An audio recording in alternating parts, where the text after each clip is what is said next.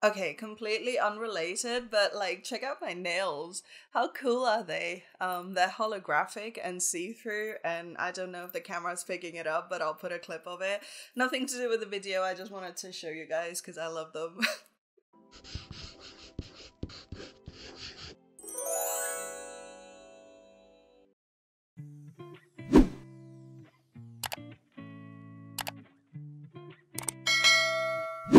So it's been a couple weeks. How are you? Good. What did you get up to in February? All I did was watch TV, go to the hospital a couple of times, learn to knit and crochet, read a bit of Shakespeare, and then I sketched a few heads. But we're back in business, so let's get right down to it. This painting was supposed to be part of a video that went up the day before Valentine's Day, and it was supposed to be a tutorial on how to paint that beautiful, expensive looking silk that you see in like old Baroque Renaissance paintings, but that's boring.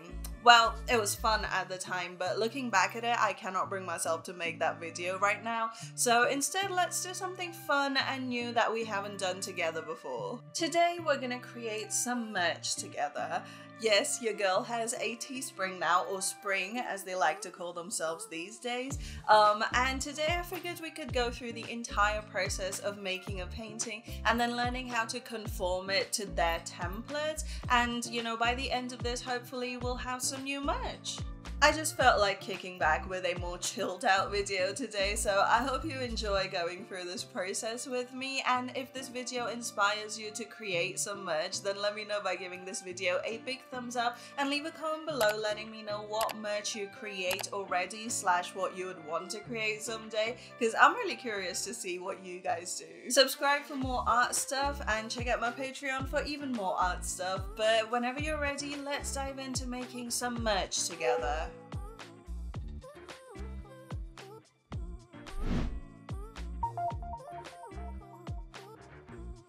Okay, so obviously the first step is to create some art to put on the merch. You wouldn't just want to paint a canvas a flat color and put one line on it and hope to sell it for millions, right?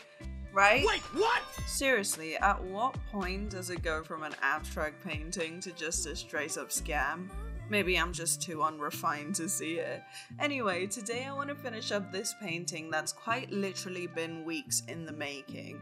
I started working on this in early February and then had to abandon it when life got crazy. If you're confused, I did make two text posts about what happened and I don't want to keep rehashing it over and over again. So if you're curious enough, you can go check those out on my community tab.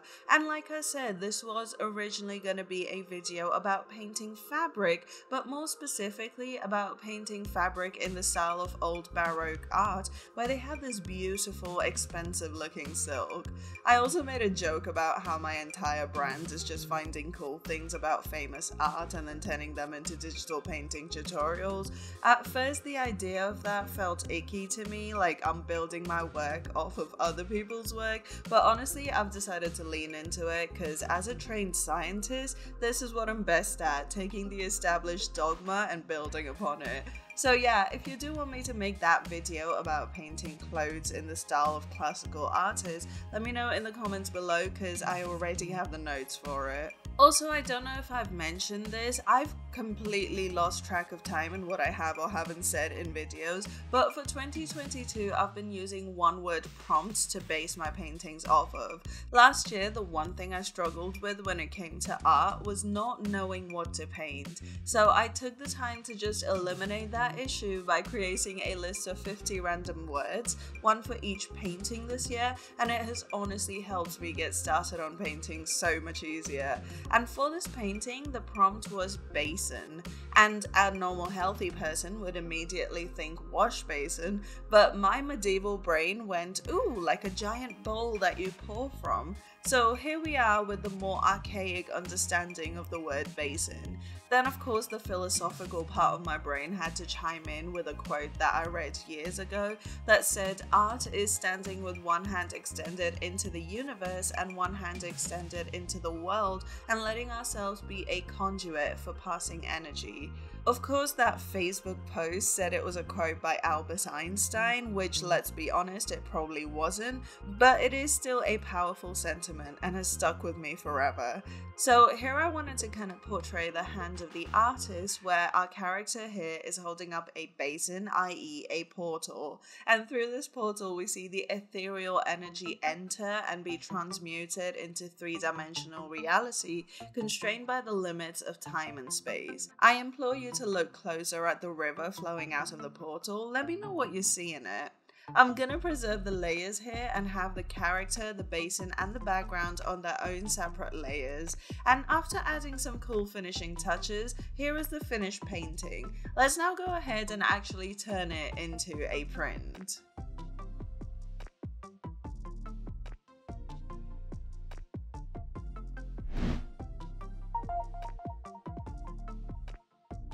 Okay, first of all, I need to mention that this is not a sponsored video by Spring. I just feel like Spring is so convenient and has some cool features, and that's the only reason I'm actually using it. But on their website, I found a link that leads to a whole bunch of templates. These are free to download and they're all PSD files, so I went ahead and grabbed the entire bunch. We probably won't make every single product on there, but it's nice to have the option. Also, I can't be bothered to download individual folders and then unzip each one, so I just got them all. Let's start with the all over print unisex t-shirt. So here's where I'm using some of my Sims 2 body shop knowledge. Do you guys remember that stuff, bro, I made so much CC clothing and stuff, and literally that is the only reason I can work Photoshop. Wow, this video is full of tangents. The point I'm trying to make is that these templates take a little bit of creative visualization, because instead of having a straight up front and back, they're divided into panels. So you have your front torso panel, your back torso panel, a strap for the neck, and two unfolded sleeves. This is what makes up an all over print t-shirt and the panels for other clothing and object templates will be different. Now, what I have in mind for this t-shirt is to have the main art in front on the chest piece and then have the rest of it be the sky and the backgrounds and such. So it's gonna take a bit of extra painting, but I'm basically gonna extend the background so that it covers the back, neck, and sleeves with just a basic sky and clouds. We're gonna try and match the edges and colors to the front panel so that it looks seamless at the edges, or as seamless as we can get. One last thing we're going to do is throw in a logo on the back panel just for copyright's sake. So finally we're going to check the PNG size because Spring only takes 50 MB. I had to convert this to a JPEG that killed me but I didn't want to lower the size because it would just worsen the quality. So I had to save it as a JPEG. I know it's a sin. I know I will repent. Um, we need a decent resolution so I'm gonna try and keep it at 300 dpi and hopefully that doesn't bloat the file size. Next, I'm gonna go ahead and speed run through an all over print hoodie. This one has a whole bunch of pieces, so we're gonna have to do a lot more cutting and copying. A lot of it is just duplicating layers, trial and error, and tons of visualization. Again, adding a logo on and exporting the PNG. I did a couple of other products too, but one last thing I want to show you is the transparent PNG. For a regular front and back print, we're gonna need a version of this painting that can go over a plain solid color background. I'm actually gonna do this by going into the original Krita document, and this is the sole reason I preserved the layer structure for this document, because now all we need to do is make the background invisible, and most of our work is already done. I'm gonna clean up some edges here and there and export this transparent background version of the painting as a PNG. Now, before I did that though, I did want to give this painting some kind of border, maybe a solid white stroke around the whole thing. So you could go ahead and use a stroke effect, but I'm actually going to do something different. I'm going to create a layer underneath the painted layer and actually use the Bezier Curve Select tool to create an even line around the edge of the painting, rounding and defining it in areas where things are a little more abstract or choppy. I then expanded this selection, I pretty much eyeballed the width until it looked right, and then I filled the selection with a flat color. Usually I go for white or black, in this case I went for white. So now it looks kind of like a die cut sticker. I'm gonna save this as a new PNG. I like to have these two variations with or without the border just to play around and see which one looks nicer on the actual t-shirt mock-up. And finally when we have all of our files ready I like to put the final images into a separate folder just so I don't go crazy trying to sift through a million different images. And we're now gonna go ahead and create the actual listing.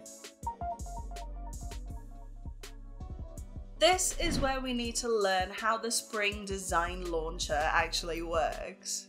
Here is my spring dashboard. As you can see, I did get a couple of listings on there already just to test the whole thing out. Let's add a third to the list. I'm gonna go to the create tab and it shows me a whole list of products to choose from. It doesn't really matter what you pick to start with because you can always go back and unselect it and then select a bunch of other products. However, I'm gonna start with a men's classic tee. This takes us to step two, which is where we upload the actual art. Now, when I go to the design tab, it shows me a red rectangle on the center of the t-shirt. This is the area that the design will actually take up because this is a classic tee, not an all over print one. We'll get to that one in just a second. For now, I'm going to place the transparent background version of our painting right in the middle of the t-shirt and then test out a couple of color options. I'm not a huge fan of this design on black per se, so we're gonna stick to some of the pale paler tones. You can also select a color option for the first image that buyers see and adjust the price here. I'm adjusting the EU price to be slightly lower than the US price because the euro is valued higher than the dollar. Next, let's check out the all over print tee because we've put in all of that work. Let's just see how it turns out. So in the design tab here, we'll see the weird like panel map because again, this one is to have the print all over, not just on the chest panel like the classic tee. So I went ahead and adjusted the size and position so that each panel aligns perfectly. I don't know why the site was so laggy and the preview wouldn't load, but here's a clip of how it actually turned out looking. I then went ahead and added a couple of other products. One thing I should mention here is I could not for the life of me find the all over print hoodie. I don't know if they've discontinued it or if it's only available in certain locations, but all I found was the classic hoodies that can have like a single image up front, so that sucks because we spent all of that time creating the all over print hoodie, so yeah. Anyway, we then hit continue and fill out the title and description description, I basically just copy pasted the description from the Patreon art post because to be honest, I know all of the traffic to this is going to come from you guys, but if you're relying on organic traffic from Google or something, you want to do some SEO and stuff. There's tons of videos on SEO out there. I'm not an expert on the topic, so I don't feel qualified to tell you how to do it. Anyway, so finally we hit publish. It was still laggy and glitchy. Honestly, it messed up my screen recording for some reason, but I paused and came back once the listing was live and there we go.